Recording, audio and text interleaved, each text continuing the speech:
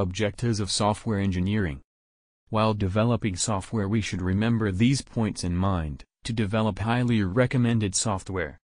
Maintainability, software should be maintainable, in the market whenever we launch a new product then the customer will buy it only if it is easy to maintain. That is also a reason why people are using drag and dropping website builders in place of coding, it's only because they found it easy to maintain a website using WordPress, Joomla, Ghost, etc.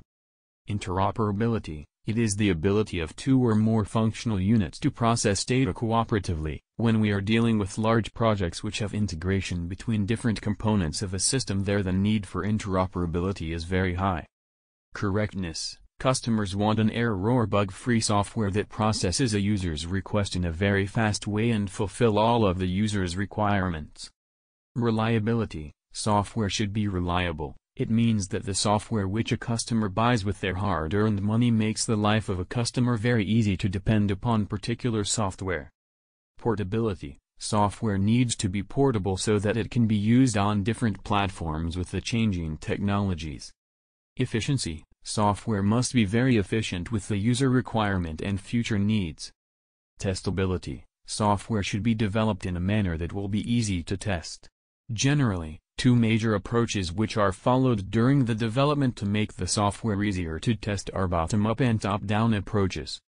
Reusability In the cooperative world many time we generally use the component assembly model for development where we assemble the common or pre-developed components for the development of a new project.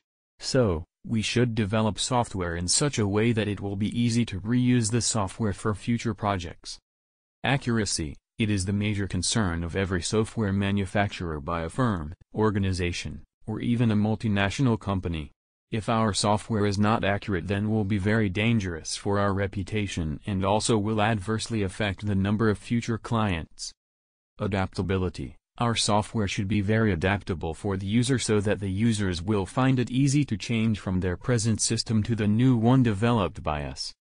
To remember these points we have mnemonics. MICRPETRA in which MICR is the number on checks for their identification, and Petra one of the seven wonders of the world so we can say that we need a MICR check to go to Petra.